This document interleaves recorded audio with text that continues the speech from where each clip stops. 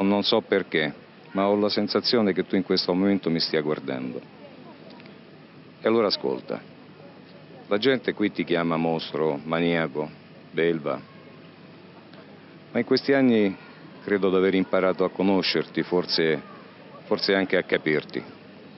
E so, so che tu sei soltanto il povero schiavo, in realtà, di un incubo di tanti anni fa che ti domina. Ma tu non sei pazzo, come la gente dice. La tua fantasia, i tuoi sogni ti hanno preso la mano e governano il tuo agire. So anche che in questo momento probabilmente ogni tanto cerchi di combatterli.